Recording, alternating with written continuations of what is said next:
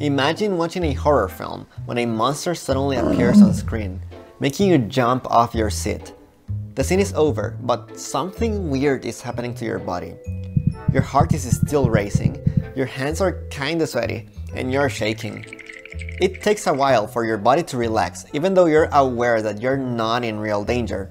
This happens because when the monster appeared, a brain region known as the amygdala thought you were in danger and initiated the fight or flight response, which is a physiological reaction that prepares your body to deal with a threat. First, the amygdala sends a distress signal to the hypothalamus. The hypothalamus is like a command center that controls the release of many types of hormones, and in this case, it sends a signal down your body to the adrenal glands to release epinephrine into the bloodstream. Epinephrine relaxes the airways to allow more oxygen into your body, increases the heart rate to pump more nutrients and oxygen to your muscles, and opens up your pupils to let in more light. It takes a while for epinephrine to be removed from the bloodstream, which is why your body stays in a state of high alert and ready to respond to a threat. This response is often initiated before we finish processing the information and consciously assess the situation. Still, at some level, at least a part of the brain thought we were in danger and prepared our body to fight. Now, we don't have to be going through a potential life or death scenario for our brain to signal the release of hormones and affect our body. Let's say that I suffer from migraine. I then take this pill once a day and the headache goes away. It works wonders. But there is something I don't know about this medication. It happens that this is just a sugar pill with no active ingredients for pain relief. In this scenario, I've been literally eating a few milligrams of sugar to treat my migraine. It shouldn't work, but it did. And the only reason why it worked is that I believed it would. We know this as the placebo effect, a positive effect in symptoms produced by the belief that the placebo drug or treatment works. Contrary to popular belief, the placebo effect is not only psychological, but also produces changes in the body. Since I believed the pill worked, parts of my brain known as the reward pathway activated and stimulated the release of endorphins. Endorphins are natural painkillers, and well, my body basically treated itself to reduce the migraine. This effect can go both ways though. Let's say that doctor recommends you get a massage to treat a back pain that's been killing you. However, before going to the massage parlor, you read online having a massage is painful. So instead of releasing endorphins, the body may start releasing cortisol, which enhances pain sensitivity. And well, you will probably feel more pain.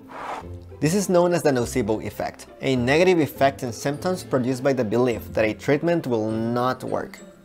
Basically, the placebo and nocebo effects are triggered by the belief that a treatment will have a positive or negative outcome, and these beliefs produce changes in our bodies. It is clear thoughts can affect the body, but here is the best part. Studies are already identifying how different mindsets affect our bodies. This means we can know which mindset is good for our health. Today I want to talk about two stress mindsets and their different effects on our body and health. The first is a stress is debilitating mindset.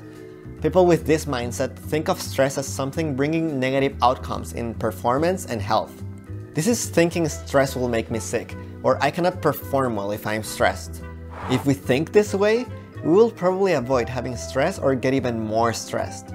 Both of these coping mechanisms do not usually suit our bodies since we end up releasing or too little or too much of the stress hormone cortisol, Cortisol regulates blood sugar, blood pressure, and how we use carbohydrates, fats, and proteins.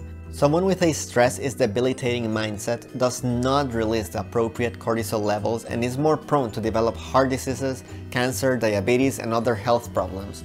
These are the usual negative effects of stress that we hear about. The other type of mindset though, that's a different story.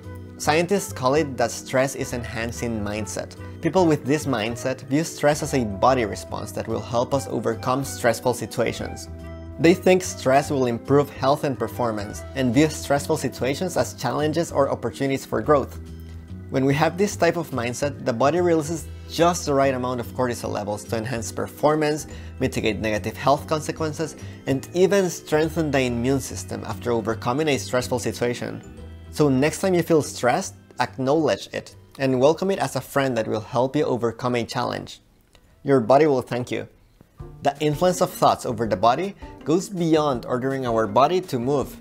This mind-body connection can prepare your body to get out of danger, help you alleviate symptoms, and even cope with stressful situations in a healthier way.